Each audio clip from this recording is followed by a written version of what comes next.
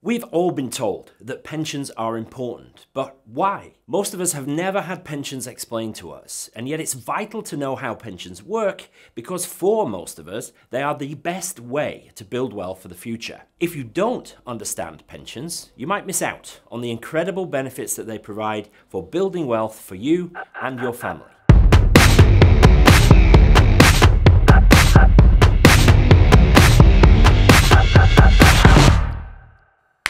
Hi and welcome back to the channel. My name is Pete Matthew. I'm a chartered financial planner based in the UK and for over 10 years I've been giving you everything you need to know and everything you need to do to secure your financial future. Today I'm going to cover the different types of pension, how you get free money when you save into one, how they are taxed, how they grow, and how you get money out at the end. Now, in all the years that I've been advising clients who are enjoying a rich retirement, pretty much every single one of them has paid into a pension. And when we're done here, you will be equipped to make the most of these brilliant plans. So let's dive in. Let's understand the types of pension first. Over the decades, there have been lots of different types, but the first distinction is simple enough. Workplace pensions, which are provided by employers, and personal pensions, which you sort out for yourself. Taking workplace pensions first, there are again two main types, and I'm going to put one on this side and the other on that side. Firstly, we have defined benefit or DB pensions, where the benefit is a promise of a guaranteed future income one day when you retire. It's a known or defined benefit. Now, the amount of that income will be based on your earnings the length of time that you're with that employer and in the scheme, and some other calculations which are specific to the scheme that you're in. So if you work for the public sector, like the NHS, police, fire service, teachers, armed forces, or civil service, you're quite likely to be in one of these schemes. But you may also have a DB pension if you've worked for a very big company for a long time. And these are the gold standard of pensions, and they're really valuable, which is why there aren't so many of them around anymore, unless you happen to work for the government. Then over here you have defined contribution or DC pensions, where you build up a pot of money by investing from your salary over the years until you retire. Now, how much you get out at the end is unknown. It's the amount of contribution that is known or defined as you go along. How much the pension fund grows to is also a function of how the investments inside the pension perform over time, and we'll get to that in just a minute. So, defined benefit and defined contribution, two really important terms to understand. And pretty much everything else will slot into these two types as we go along, okay? But for now, we'll get rid of those graphics. These days in the UK, it's mandatory for employers to provide a pension of some kind, most likely a DC, a defined contribution plan. You will be automatically joined to the scheme if you meet the criteria, but you can opt out. So that's workplace pensions, but what about personal pensions? Personal pensions are always defined contribution. There are no guarantees. It's up to you to save for the future, and how much you end up with is a function of how much you put in and how that money grows over time. Just to confuse matters, there are lots of different types of personal pension. So you might hear of stakeholder pensions, SIPPs or private pensions. Those are all different names for pretty much the same thing. Yes, there are some differences, but they don't need to concern us at this point.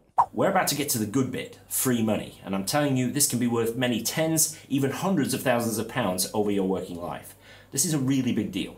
Okay, how do you get free money with pensions? Well, the free money in this case is called tax relief, and it's one of the biggest reasons to use a pension to save for your future.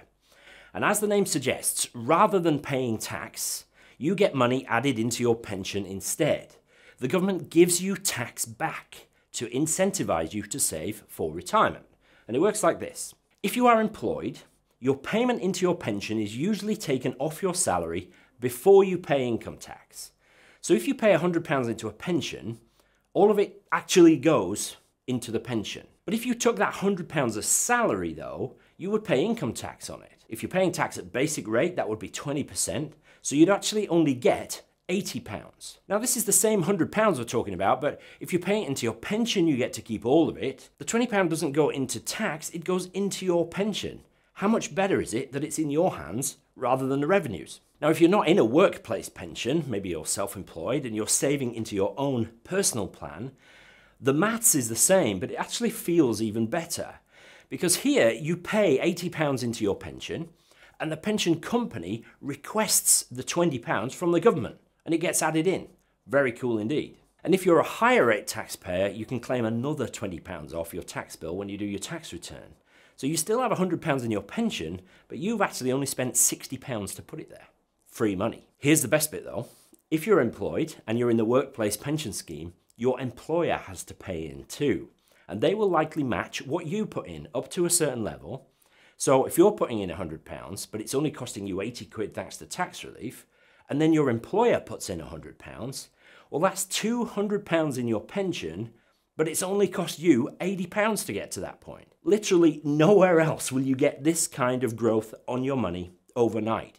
It's ridiculously cool, but we don't shout about this from the rooftops like we should. Let's talk though about how pensions are taxed, because we all know there's no such thing as a free lunch, right? So is the money really free? Well, there is a quid pro quo. Pensions are taxed eventually, but not generally until you take money out. And for some of us, that's often quite a long way into the future. And we'll get to that in just a sec, but it's important to know that pensions grow tax-free too. So as you roll up wealth for the future, there's no tax being taken off it as you go.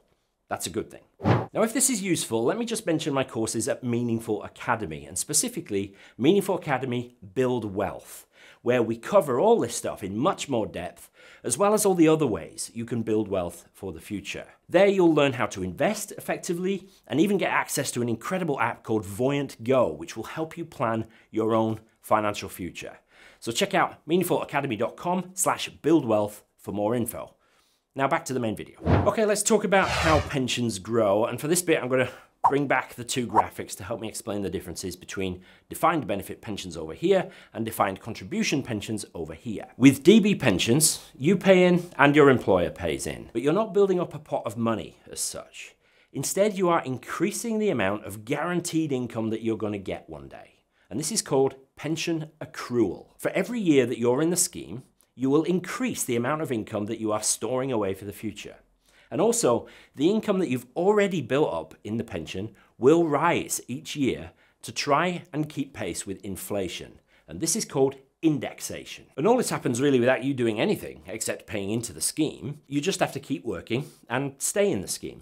If you do leave the scheme because perhaps you've changed your job, you won't accrue any more pension income but what you've already accrued while you were a member will still get indexed up each year into the future. And you'll get a statement each year showing how that works. With defined contribution pensions, you pay in, and your employer, if you have one, also pays in. Plus, you get the tax relief. And all of that builds up to a pension fund, a pot of money, which is yours. Now, that money will be invested in some way, used to buy shares and bonds and assets which should grow over time. How big that pot becomes is simply a function of how much you pay in over the years and how well the investments perform. I tell you, if you've made it this far, well done. I know this is a potentially dry subject, but it's just so important. So stick with it, we're doing well. Finally, let's talk about how you get your money out of a pension. And how you do that, again, differs between our two kinds of scheme. In defined benefit schemes, you've built up this guaranteed income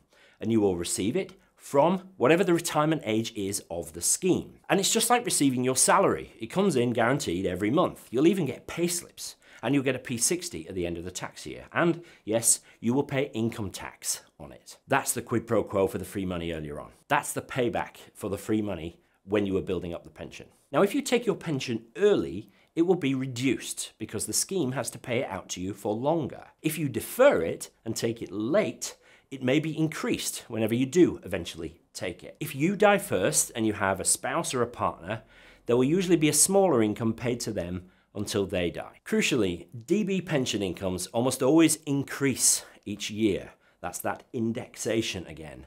The idea being to keep pace with inflation. Your income goes up because most things get a little bit more expensive each year. You can also give up some of your pension, making your income lower each month in return for a tax-free lump sum right at the start. And this is called commutation. Each scheme is different as to how much lump sum you get for every £100 per year of pension you give up. But it's definitely something to look at as you plan for your retirement. With DC schemes, you end up with a pot of money, and you need to decide what to do with that when you get to retirement age. Retirement age on DC pensions is 55 now, but that's going to rise from 2028 so that it becomes 10 years below your state pension age. So if your state pension age is 68, you're going to be able to take your DC pension from age 58. Now, whatever your pension fund is, you can take one quarter of it out as a tax-free cash lump sum. So that's a useful benefit.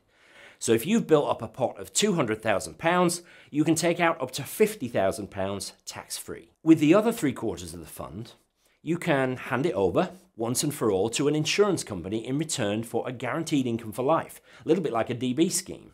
That's called an annuity and it is taxed just like your income from your job. Or you can have your pot and just draw some down each month. Think of it as a bucket with a tap on it. You can just open the tap and draw a bit of money out. You can do it regularly each month or take ad hoc lumps here and there. And this is called drawdown.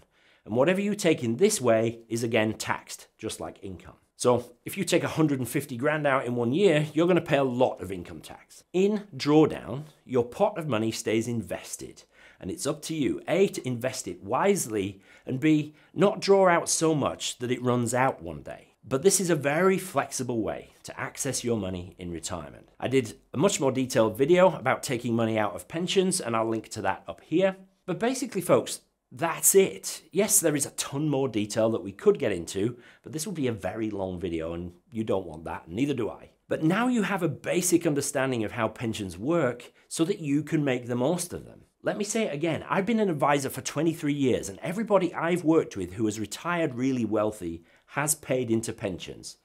You could do the same. So I hope this video was helpful. If it was, click the like button and subscribe if you're not already so that you can get more where this came from. Thank you so much for watching. I'll see you in the next video.